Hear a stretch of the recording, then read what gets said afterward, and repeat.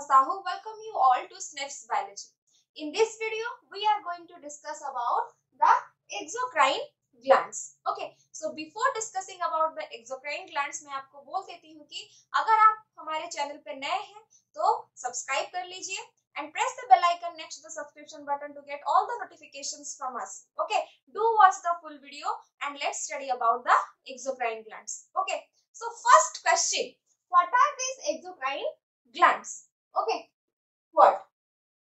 So these are the glands which release their secretions into the ducts. Okay, uh, मैं पहले भी बोली थी कि जो एंडोक्राइन ग्लैंड्स होते हैं वो डक्टलेस ग्लैंड होते हैं right? They do not release their secretion into the ducts, but these exocrine glands, they release the secretions into the ducts. Okay, so these are the glands with ducts. Clear? Now, what they secrete? Okay, what is the secretion? So, these exocrine glands secrete mucus, oil, sweat earwax, enzymes, various digestive enzymes, saliva and saliva. Okay. So these are the secretions of these exocrine glands. And where these secretions goes? This secretion goes into ducts. Okay. Clear? Now, let's study the classification of these exocrine glands. Okay. Classification. So considering the classification, there are two criteria. Okay, first structure and second one is the function. Okay, structural classification हम पढ़ेंगे उसके साथ functional classification भी हम पढ़ेंगे। So considering the structural classification they can be unicellular और multicellular okay okay then they can be branch और unbranch okay and the third is their shape okay clear तो पहले यूनिसेल्युलर ग्लैंड्स और multicellular glands देख लेते हैं ये important है what are the unicellular glands So as the name suggests, these unicellular glands are made up of only one cell, single cell. Okay? तो इसका एग्जाम्पल है क्या है इसका example goblet cell okay goblet cells clear And these goblet cells release their secretion on the apical surface of the lining epithelium. Okay? मैं epithelial tissue के बारे में ऑलरेडी पढ़ा चुकी हूँ तो वहाँ पे गोबलेट सेल के बारे में भी मैं पढ़ाई हूँ। तो जो आई बटन है, उसमें क्लिक करके आप वो वाला वीडियो भी देख सकते हैं। ओके सो यूनिसेल्युलर ग्लैंड का बेस्ट एग्जांपल है हमारा goblet cell clear now considering the multicellular glands these are made up of many cells clear so इसका एग्जांपल हो जाएँगे हमारे sudoriferous glands sudoriferous glands then sebaceous gland and then salivary glands clear so what sudoriferous glands do they secrete sweat clear इन्हें sweat gland भी बोलते हैं और सुडोरी ferrous gland भी बोलते हैं। Clear? And what are the sebaceous glands? These secrete sebum. Okay, or the oil. Clear? And what are the salivary glands? These secrete saliva. Clear? So this is all about the unicellular and multicellular exocrine glands. This is the important thing about it. Clear?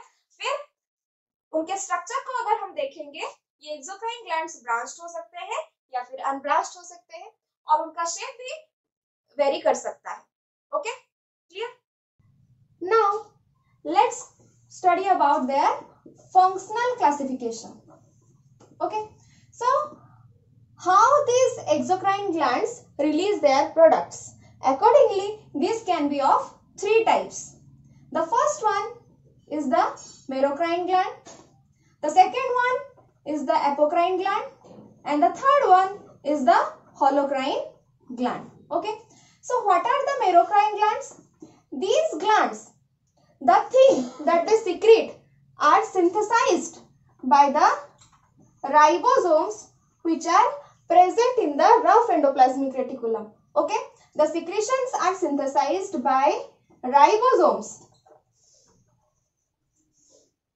of rough endoplasmic reticulum and after they are synthesized then they are processed then they are sorted and then they are packed. Okay? Clear? By the golgi bodies. Okay? Clear? And after their processing sorting and packaging they are released by released by the secretory vesicles. Secretory vesicles of the cell. Through the process of exocytosis. Okay? Clear? So remember this. The secretion of the merocrine glands are synthesized by the ribosomes of rough endoplasmic reticulum. Then they are processed, sorted, packaged by the Golgi bodies and then they are released by the secretory vesicles of the cell through exocytosis process. So what is the exocytosis process? It is the process of cell vomiting. Right? Endocytosis का मतलब क्या होता है? Cell eating. Pinocytosis का मतलब क्या होता है? Cell drinking. एंड एग्जोसाइटोसिस का मतलब है सेल वोमिटिंग तो कैसे होता है consider this to be the gland of the cell sorry cell of the gland clear so This is the nucleus. Okay. And surrounding the nucleus present the rough endoplasmic reticulum. Okay. Clear? And on the rough endoplasmic reticulum present the ribosomes. Clear? And by these ribosomes, the products are synthesized. Okay. Consider this to be the products. Okay. Clear? Then they are then by the help of the Golgi bodies, they are processed, sorted and packaged. Clear? And they get accumulated in the secretory vesicles. And these secretory vesicles take them to the cell membrane. Clear? And attached to the cell membrane, when they, the secretory vesicles get attached to the cell membrane, the point of attachment get dissolved. Okay. And the secretory products are released outside. Clear? This is the mechanism of the secretion of the merocrine glands तो इसके क्या examples हो जाएँगे हमारे हमारे salivary glands and pancreas okay clear So remember this, the pancreas has both endocrine activity as well as exocrine activity. Clear? तो इसका example हो जाएँगे हमारे salivary glands and pancreas which come under the merocrine glands. Clear? Now let's study about the apocrine glands. In case of apocrine glands, the secretion get accumulated at the apical surface of the secreting cell. Okay, clear? Then after their accumulation, they are released outside through the process of pinching off. Okay, clear? So how it happens? Consider this to be the cell. Okay, so पहले क्या होता है कि ये यहाँ पे accumulate कर जाएँगे एक ऐसे बर्ड जैसे फॉर्म हो जाएगा clear and it this portion of the cell will get detach from the rest of the cell clear तो ये बाहर चला गया सिक्रेशन और ये जो बाकी जो रह गया cell that will repair it clear तो इसका हमारा एग्ज़ाम्पल हो जाएगा मैमरी ग्लैंड ओके क्लियर तो अभी आएँगे हम होलोक्राइन ग्लैंड्स में. Clear so these glands secrete their product. Okay. And the secretory product and the product that are secreted get accumulated in their cytosol. Clear ये याद रखना। यहाँ पे कहाँ पे एक्यूमुलेट होते थे? Apical surface of the cell पे। क्लियर बट यहाँ पे कहा एक्यूमुलेट होंगे? साइटोसोल पे। Clear so when the cell get matured तो क्या होगा? ये सब बाहर निकल जाएँगे। एक्यूमुलेशन प्रोडक्ट क्लियर तो कैसे होगा? Consider this to be the cell तो पहले ऐसे क्या? एक्यूमुलेशन होगा। फिर क्या होगा? ये सेल यहाँ पे डिजोल्व हो जाएगा। मेम्ब्रेन यहाँ पे डिजोल्व हो, हो जाएगा और ये सब निकल जाएँगे to outside of the cell clear तो इसका एग्ज़ाम्पल है हमारा sebaceous glands best example is your pimple. क्या होता है कि पहले एक्यूमुलेट होते हैं, ओके? जो भी प्रोडक्ट है, जो ऑयल्स है क्लियर वो एक्यूमुलेट होते हैं, फिर वो पिंच ऑफ़ होके बाहर चले जाते हैं। क्लियर तो क्या हो जाएगा? इसका sebaceous gland and after the release of the sebaceous glands then the cell repairs itself clear तो ये हो गए हमारे merocrine, apocrine holocrine glands clear तो अभी मैं आप लोगों को एक ब्रीफ डिस्क्रिप्शन दे देती हूँ। तो पहले हम पढ़े about goblet cells okay which are unicellular exocrine glands clear and the secrete mucus which goes into the surface of the, apical surface of the lining epithelium, of the lining epithelium. Clear फिर हम पढ़े किसके बारे में? About the multicellular gland जिसमें हम पढ़े sudoriferous glands फिर सेबसियस ग्लैंड्स फिर सलाइवरी ग्लैंड्स क्लियर तो सुडोरिफेरस ग्लैंड्स क्या सीक्रेट करते हैं? The secrete sweat sebaceous gland क्या सीक्रेट करते हैं?